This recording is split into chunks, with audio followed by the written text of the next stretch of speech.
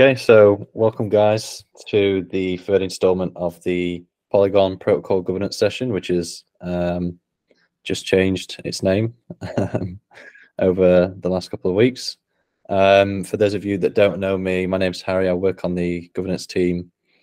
Um, and yeah, I'll be leading the call today and guiding you guys through the agenda. So yeah, just in terms of like a quick summary of what we'll be covering, um, the main things are PIP 12, um, PIP 11, um, and then we'll have a brief overview of what's to come with the kind of downstream Shanghai hard fork.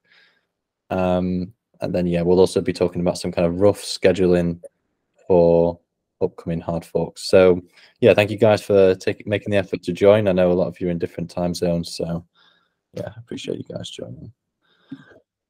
Um, yeah, so before I hand it over uh, to Krishna, who's going to be doing an overview of, of PIP 12, um, I'm just going to give you guys a quick reminder on the um, PIP bounty program. So this call is meant to be like a synchronous place for discussions around PIPs, which are Polygon improvement proposals, proposals that aim to improve the you know, the Polygon network essentially. Um, and this is where we deliberate on the technical details uh, and gather kind of technical consensus, peer review, um, on on those proposals. So yeah, we we launched a program where we'll be giving PIP authors the sum of like of forty thousand dollars over the next twelve months. So yeah, there's some there's some funding now for PIP authors, which is good. Um, another thing is we recently released a blog post around protocol governance, which kind of outlines our thinking around kind of open source and how it fits into to to Polygon's protocol governance and you know a little bit of our vision of how we see this thing going forward. So yeah, please take a look if you get the chance.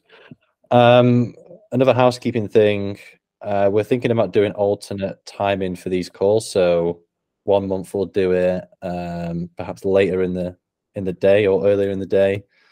Um, yeah, and we'll alternate those month on month so we can be a bit more inclusive. Um, for different time zones. And um, so yeah, I'll be doing probably doing a temperature check in the Discord channel. So keep an eye out for that. And as well as that, we'll also be moving over to Zoom soon because the um, the visual and audio quality of the recordings of these calls is is not great. So um, yeah, we'll probably be moving over to Zoom. Maybe not for the next call, but definitely for the one after that. So yeah, keep an eye out for that announcement. Um, yeah, and on that note, then I'll hand it over to uh, Krishna, who is going to be doing an overview of PIP 12. So, Krishna, if you're there, it's uh, over to you. Yep, yep, I'm here. Thanks, Harry. Okay, um, okay. Uh, I welcome everyone on behalf of the POS team as well. So, it's not usual for our team. I mean, we are. I'm, I'm, I'm uh, my name is Krishna, and I will usually we usually um, handle technical calls. But yeah, governance call is something new for us as well, and a couple of my team members are also here. So we'll be uh, what we are here to basically discuss uh, a couple of things regarding some updates, uh, you know, which we are gonna do on the POS network in the upcoming months i can say yeah some of them will take months so yeah in the next few months. Uh, this includes a couple of uh, hard fork hard fork as well maybe like one on Heimdall and some on uh, on on both side as well. As you guys already know we have been like in the last call wh whoever was present we introduced pip 10 uh, regarding the state sync confirmation, which was actually a technical uh, cause, you know, which caused the 157 block reorg back in January, and we identified that there's an issue. So we have actually identified a better solution to that. So basically, PIP 12 is an uh, we can say upgraded version of PIP 10, and Pratik, uh, I'll, I'll, let Pratik uh, discuss more on that um, later on that half. Uh, on the overview side, I'll first of all, I'll present an overview uh, for everyone to get in the context. So yeah, the first uh, major uh, hard fork or change which we are eyeing uh, right now is milestone implementation because that is something which we are very excited as well as uh, you know it's very important for us to test this uh, rigorously because it's very tedious from technical perspective.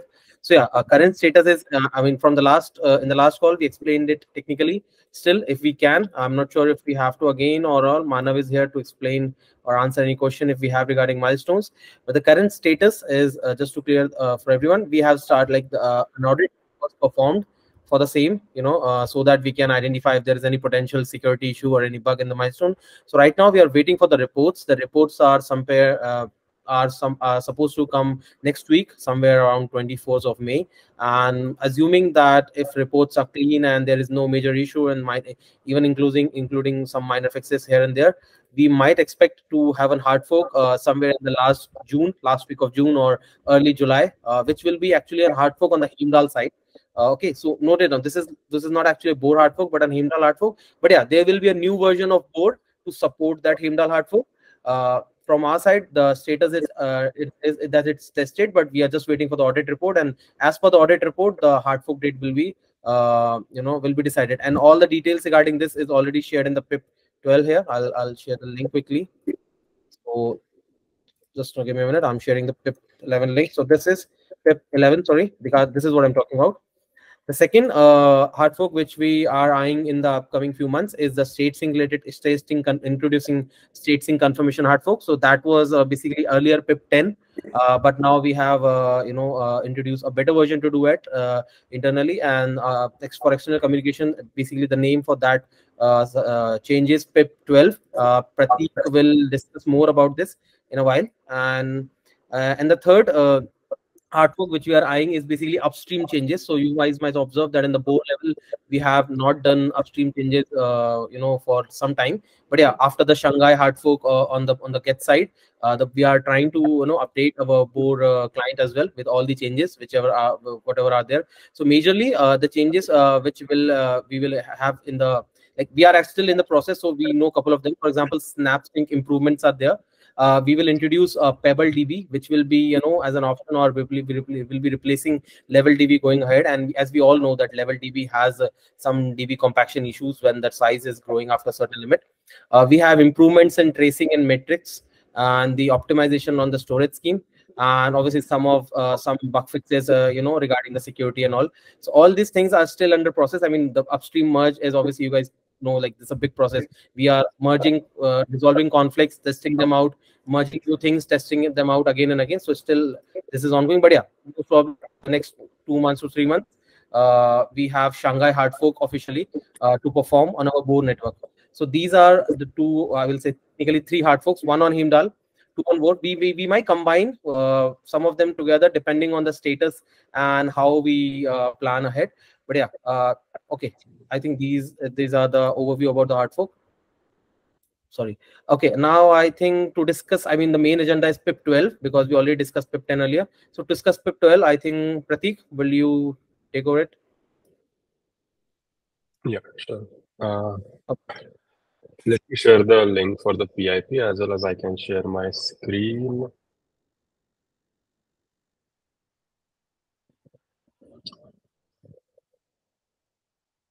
Okay. Um, can you see my screen? Not yet. I think it's still loading. Let's wait a couple of seconds.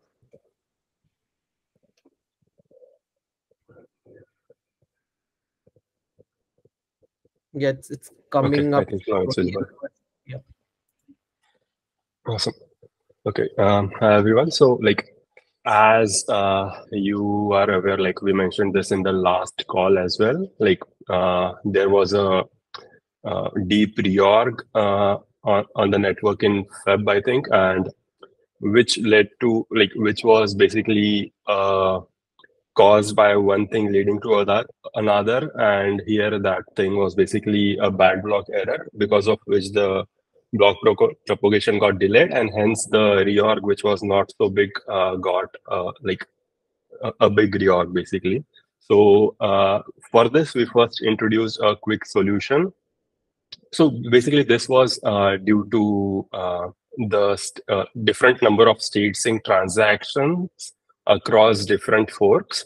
So when this fork merges back together, uh, while uh, verifying the incoming chain, uh, the Bor, like the Bor encountered an issue where the incoming chain had different number of state sync transactions than that were being fetched from its Heimdall. So this was because uh, the parameters which uh, gets this state sync transactions from Heimdall were different uh, for a particular uh, like for a particular block. Uh, and this was different because uh, this uh, like basically there are two parameters used to fetch this transactions from Heimdall. The first is from ID and the second one is a two, which is a timestamp of a block uh, in the local database, which is basically a sprint length behind. So for example, uh, let's say we are on block uh, 32 right now, which is the first block of a sprint and assuming 16 is the sprint length, uh, it will be uh, like two value will be the timestamp of 32 minus 16, which is basically the 16th, 16th block. And this block is fetched from the uh, local database of that particular Bor node. No, and like note that this is not fetched from the incoming chain. Uh, given that like uh, on different forks, the timestamp of a particular particular block will be different because uh, like they, uh, they they cannot be same because the time to mine can be different on different forks. Now for this, we uh, like PIP10 introduced a solution basically which uh, increased like which uh, stated that instead of going 16 blocks behind uh, and uh, getting its timestamp, we should uh, go uh, let's say 128 blocks behind and take the timestamp uh, because like a reorg like cannot like we the probability of happening a reorg which is 128 whose depth is 128 blocks is very low. Therefore, this issue will not occur that uh, like that frequently. But still this issue can occur if uh, the reorg's length is greater than 128 so instead uh, like so this pip has introduced uh, a way uh, where the calculation of 2 is not dependent on the uh, length of the reorg but rather we are introducing a way where the value of 2 will be same across the forks uh, or will be same uh, while this fork merges back together where uh, previously we used to get this bad block error. Now uh, the uh, the way we are calculating 2 here is basically we are taking the current block uh, and getting its timestamp. And instead of going like like few blocks behind and getting the timestamp of that particular block, we are just subtracting a constant time from uh, the current block's timestamp.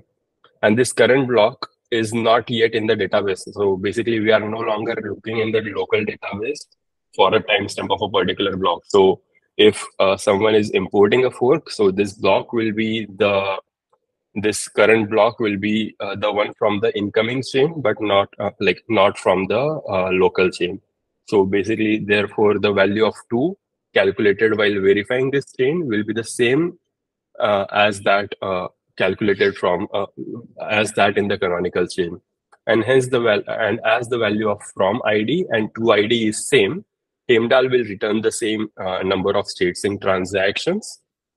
Uh, and therefore, uh, bad block won't happen because the number of state sync transactions and the transactions are basically the same. So this is the solution. Now uh, let's look at the implementation. So here again, uh, the only thing which we are adding here is this constant. Now this will be fixed across the network and therefore this constant uh, will be present in the Genesis file. And again, like we are keeping it as a, map so that in the future, if we want to change it or like modify it to, let's say 64 or uh, like uh, uh 200 or to uh, like whatever uh, value we can just uh, add like we can just do that in the genesis file instead rather than changing the implementation. So yeah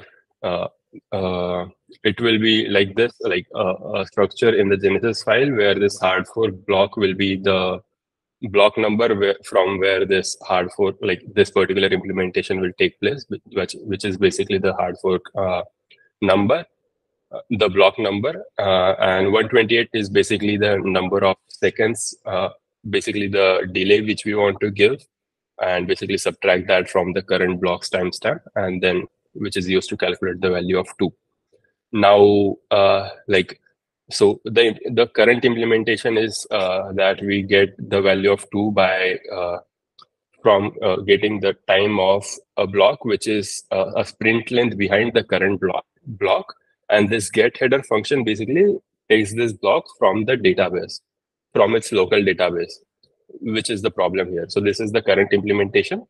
And uh, we propose to change it to something like, uh, like if uh, we are post hard fork, then we will fetch that delay from the Genesis file here for the current block. And like in this case, it will return 128 and we'll simply do header uh, headers time, basically the current block's time minus uh, the state sync delay, which is 128. Uh, yeah, so basically it is just an if else if it if we are post hard fork do this updated implementation. If we are pre hard fork, then do what we are currently doing. Now, yeah, basically this is the implementation. It is very simple. Uh, yeah, things to note that uh, current sprint length is 16. The state sync confirmation delay is 128. So this is not yet final, but we are uh, confident that 128 second is uh, ideal if uh, like but we are still open for discussion around this so yeah feel free to post your comments on the forum post or like uh, yeah basically on the forum post and we will uh, take that up and yeah so uh, uh, in pip like in pip 10 we increase the value from 16 blocks to 128 blocks but in PIP 12, we are increasing the range from 16 blocks to 128 seconds.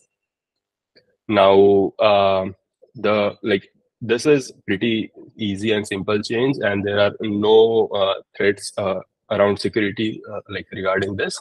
Uh, the only thing uh, which will change is that the state sync, like the state sync transactions, will be delayed by 92 seconds and 92 second is uh, basically calculated by so right now as we have 16 blocks like we go 16 blocks behind the current block and assuming 2.25 seconds as the block time we subtract that from 128 and get 92 seconds. So yeah uh, the state sync transactions will be delayed by 92 seconds which is not basically if we look at uh, current uh, state sync transactions the time which it takes from uh, coming from the main chain to uh, Heimdall to Bor, uh, it is like not a significant increase.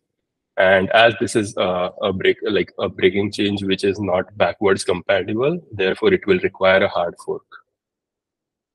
Yeah, uh, like uh, if you have any questions, feel free to ask. Uh, I'll be happy to answer. Uh, thanks, Pratik. Yeah, if anybody has any question, they can ask here, or the PIP is, I think, live so they can comment there. Basically uh, the main motive uh, in if i have to explain in two lines is to remove the dependency on uh, block you know any block. Like earlier we were trying to increase the block difference from 16 to 64 or 128 by adding uh, you know uh, uh, what do you say a number what was the number pratik? Um, what we are calling it? Exponential. Yeah exponent. So we are trying to increase but later we realized that while we are still dependent on blocks this thing can still occur if uh, you know like for example if we have if we would have increased it from 16 to 128 and there is a reorg more than 128 that same situation would have still arrived okay? Like uh, because two nodes which are which are on different reorgs we still get different time two different values. Yeah multiply sorry my bad.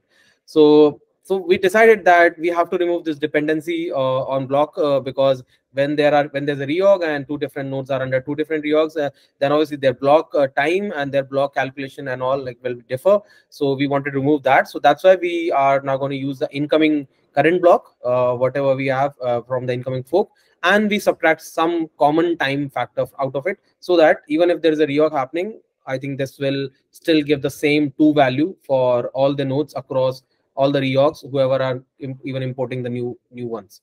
So that's the, I mean, uh, just a quick summary for the PIP 12. That's why we changed it. I mean, if you compare 10 to 12, that's the major difference.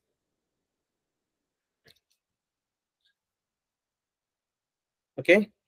And I'm sorry, we don't have any PIP for Shanghai hard fork yet, but yeah, that's one of the hard uh, one again, one thing which we'll be doing. Uh, and we already have also have PIP 11 for milestone. Uh, do we have to, uh, Harry, just a quick question. Do we have to uh, explain PIP 11? Do you like, should we, we should go over it again or? I mean, it's up to you. I, I, I think we, we explained it on the last uh, on the last call, but yeah, maybe it'd be good to do kind of a summary of like where the where the audit is, like what testing uh, needs to be in place uh, as well. I think that would probably be helpful, to be honest. Sure. Uh, okay. Manav, uh, can you do a quick review of PIP 11 as well? Um, yeah, for sure. Just a second. Uh, I'm sharing my screen.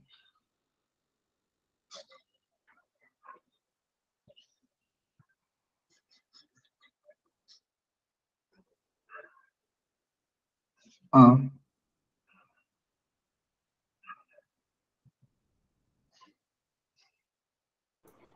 is it visible? Yeah. Not yet. It's there. We can see you're presenting, but the screen is still not visible.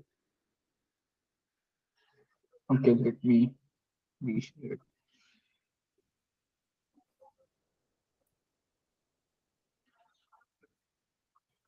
Yeah, we'll be quick this time. Only uh, just a quick review, and then we'll. sh- Uh, we are anyway we already shared while manner sharing. So this thing is uh, on the technical front already implementation has been done, and we are uh, you know we have started an audit almost last year, like last month, April, and the reports will be again. I'm rephrasing. Uh, will be will be should be there by 24th or 25th of May, and yeah, if there are nothing serious, maybe in one month after that, uh, June end or July first week, we might go ahead with this if everybody approves, obviously. Okay, yeah, over to you, Manav. Yeah. Uh, thanks, Krishna. Uh, yeah. So uh, basically, just to like quickly summar summarize the implementation of milestones in a couple of minutes. It's basically uh, the, like the goal is to uh, have deterministic finality via milestones. So uh, because of the dual architecture or like dual client architecture of Polygon POS, which is the Bor chain and the Heimdall chain, where the Heimdall chain runs on a Tendermint consensus, which has fast finality, or I would say a single block finality. So uh, basically, Milestone leverages those properties of the Tendermint chain to make sure that it we, we achieve finality faster on, on the Bor chain, which is the main block producing layer of the Polygon POS network, right? Uh, so yeah, I mean, uh, also just to clear out some uh, things um, that currently it's probabilistic until a very high number, which is the last checkpoint. So the average checkpoint is of of length 512 Bor blocks. So currently uh, it's it's kind of probabilistic until that point. Uh, of course, uh, so basically that is the number of blocks or or the block confirmation which which is like the like recommended theoretically. Of course, like uh, a lot of people in the community have been using a lower number or some something close to 256 uh, for now to to rely on finality. Um, but yeah, like the current status of uh, the probabilisticness is until the last checkpoint technically. So yeah, uh, by of course introducing milestones, the user experience for those dApps will of course improve because uh, it gives them this finality much faster as compared to the current checkpoint thing. So consider milestones as a sub checkpoint, uh, as as mentioned in the struct over here. I mean, and and like the length for now is fixed at 16 blocks. Uh, sorry, 16 blocks is the confirmation, but yeah, the length of the milestone is like 12 more blocks. So uh, it it the thing the difference with checkpoint and milestone is that checkpoints are submitted to L1, hence uh, the frequency of checkpoints is has to be kept by by keeping the L1 gas fees in mind. But for milestones, they only are committed at the Heimdall layer uh, once they achieve two by three plus one consensus on the Tendermint. So so the frequency like we can uh, tune tune around and uh, increase the frequency of those milestones, uh, making it uh, reach finality faster. So uh, yeah, uh, of course, like a, a lot of technical nitty-gritties have been mentioned in the paper itself. Uh, so yeah, uh, basically there is there is a whole process of uh, whole process which the validator goes through when proposing a milestone, and the corresponding Bor nodes vote on the on each of those milestones. And once the milestone is confirmed, they basically uh, fetch those milestones in the Bor layer and try to follow or try to stick to that particular fork. So an ideal fork is the fork which contains milestones. And in, in cases where it tries to, you know, fetch blocks from other forks, it will very quickly figure out whether it's on a wrong fork or not, because someone cannot attempt to uh, throw out a very long fork which uh, which does not have a milestone so like that won't be possible uh, which is currently possible uh, for now but yeah like with milestones it won't be possible so it's like uh, you are like you have some goalposts which you are continuously moving ahead uh, and this goalpost is milestones for both uh, uh, and yeah basically consider milestones as like a, a whitelisting feature of Bor. So Bor continuously whitelists these milestones and use leverages those things when it tries to connect to peers, when it tries to import forks from peers, and so on. Uh, and of course, like with that, uh, we also like it will also include a finality tag, which is quite similar to what Ethereum currently has. Uh, basically, you can provide uh, you can call a method like get block by number with with a tag finalized and it would uh, give you the last finalized block uh, and of course like this also applies to all all such rpc methods which have this finalized tag. So uh so yeah of course again uh, as krishna mentioned like this involves a hard fork on the Heimdall layer um, because it introduces a new type of transaction which is which we call as the milestone transaction. And like of course it has a separate round of votings and everything. So it requires a hard fork uh, and, and in order to leverage those milestones Bor will also be requiring a security upgrade uh, along with but like it won't be a high fork uh, per se but yeah it, it would be like uh, the validators will need to upgrade Bor along with the Heimdall as well. Uh, uh, yeah and i'm sharing my two cents on on the testing front. So uh, like of course uh, we haven't mentioned those things in the PIP itself uh, but uh, we have kind of performed to broadly classify we have performed four kind of testing. One is of course the unit test. So we have tried to include unit test for every module which has been modified or introduced newly in the Bor layer and of course the Heimdal layer. And we have tried to mock a lot of components in order to create different kind of scenarios to make sure that the milestone feature works well. Uh, another is end-to-end test, which is we have, we have attempted doing a lot of long running tests where we are mocking a couple of components in Bor. Uh, we are uh, explicitly uh, managing managing the sprints and everything and the validator set uh, and we are explicitly whitelisting some milestones to see how it works under different cases. Uh, the third kind of testing, of course, is uh, a lot of manual testing has been uh, also involved because, like again, we have tried to play around with a lot of attack vectors and try to replicate them, how they work currently and how they would work with the milestone feature enabled. So that is it. And and last like finally we have we have a tool which is i think also publicly available which is matic cli so it, it allows you to spin up devnets and try tries to and like it allows you to uh, play around with them. Uh, like it uh, we we named it as a black box testing for milestones. So we uh, we spin up a lot of devnets using the that particular tool and conducted a few tests a few simulation based tests uh, to also be more confident so yeah like those are the kind of testings which we've been performing. Um, so yeah that's it. And ultimately an audit over over it. Yeah of course.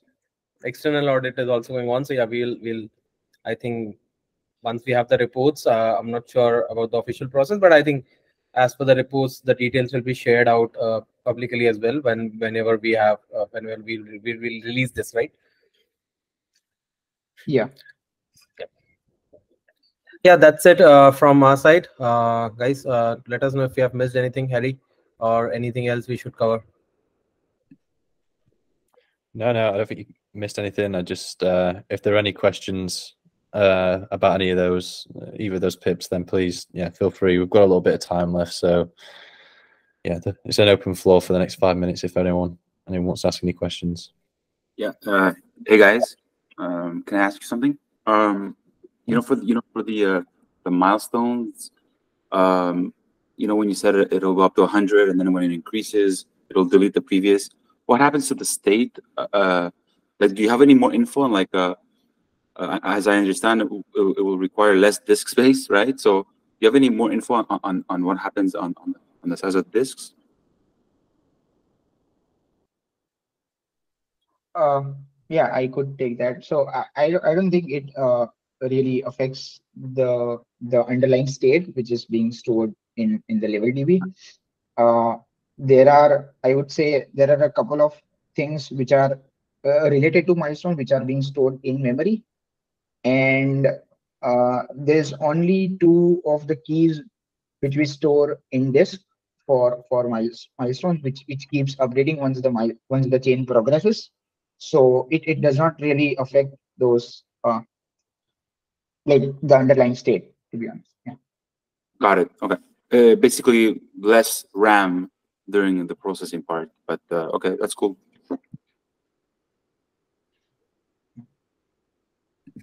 Awesome. Thank you, Dimitri. Um, yeah, any other questions? If not, we can, uh, yeah, we can probably wrap up a bit early. Um, hey, so I, I, had a question for you guys around um, timing in the hard forks and was just wondering, um, is there a plan in terms of phasing? So you guys, the, the, presentations were great and you gave a lot of great information about the timing of what we can expect in terms of the audits and then the, the time to sort of release an implementation after. Is there an interim step where something is going to go on to Mumbai first before it gets released and hard forked, or what's the sort of timeline? Yes. I understood your question. Yeah, Jason. Yeah, obviously. Uh, so whatever we do, uh, uh whatever we'll do, obviously we'll go to Mumbai first. I mean, uh, there will be no uh, neither an upgrade or not a hard fork which will go to mainnet first okay mm-hmm. neither I'm, I'm i'm saying very in general like whatever we upgrade either it be Heimdall or Bor or a hard fork or a non hard fork even release uh, everything goes to mumbai first so the timing which i was saying is obviously uh, inclusive of that so whatever we do on mumbai like the ideal scenario is let's say we deploy uh, like monday this week on mumbai so mm-hmm. and and we observe for a couple of days let's say three days four days or maybe a week then after that we'll give one more week uh, for the mainnet hard let's say x week we do mumbai then x plus two week we do on mainnet. That's like 14, at least a 14 days difference. Ideally, will be there between Mumbai and mainnet hard fork. That I can say for you. Right. So okay. yeah, and whatever will will will come on Mumbai first. So yeah, will will um, for Mumbai we might give a shorter, you know, um, a frame. Let's say uh, four five days or seven days at max. Like we cannot give 14 days for Mumbai. So let's say we say on Monday, and we might ask you to update by you know Wednesday or Thursday or Friday. That okay in four days there is a hard fork in Mumbai because Mumbai is something we we we have to do it quickly. But yeah, for mainnet we'll give you ample amount of time. We can assure that. And once it is on Mumbai, people will anyway know that okay, one whatever is coming on Mumbai most probably will hit the mainnet in next couple of weeks anyway. Okay, great. Thank you. Yeah. yeah.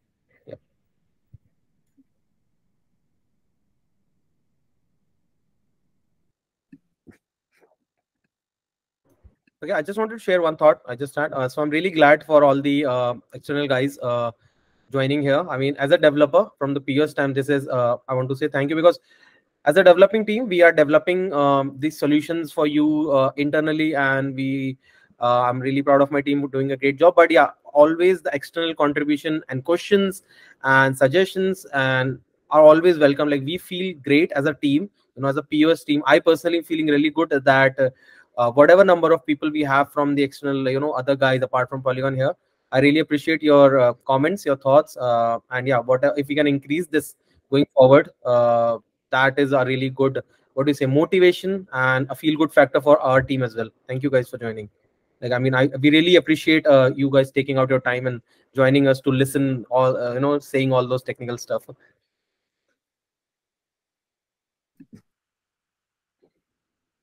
awesome lovely words krishna yeah echoing that as well um okay uh so if there's no other questions then i think we can wrap it up a little bit early still got 20 minutes so yeah, I think there's no other questions. We can wrap it up. Um, in terms of the next call, it's going to be on the uh, 15th of June. And so, yeah, keep your eye on the um, GitHub project management folder. And if you have any agenda points, then feel free to add those in for the next call. Um, then, yeah, kind of one final note. I don't know if we have any validators on the call right now, but so obviously there's quite a few hard forks in the in the pipeline potentially. Um, and you know, one of the things that's you know we're thinking about is obviously like which hard forks are going to be, you know, going together, which updates are going to be clubbed into you know one hard fork essentially. And you know, in order to you know do that efficiently, we wanted to get some feedback from from validators about kind of what how they see the difficulty of implementing hard forks on Bor and Heimdall. From our point of view, it seems as though Heimdall hard forks are, are kind of simpler, easier to implement and maintain once they've been launched. But yeah, I mean, if there's any validators on the call, then uh, feel free to weigh in. But if not, I'll probably put something in the Discord so you guys can can do like a vote or or kind of just leave your thoughts in there about which you think is more difficult.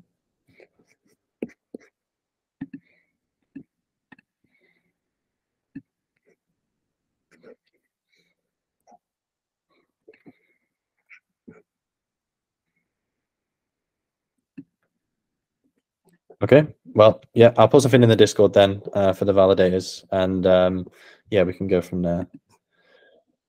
Awesome. Okay. Well, I think that's everything. So um, yeah, we can wrap it up. As always, guys, thank you for joining. Appreciate you taking times out your day to join this call. Um, and yeah, have a great rest of your week, and we'll see you next month. Thanks, everyone. Thank you. Thanks, Harry. Thank you. Thank you. Thank you. Bye bye.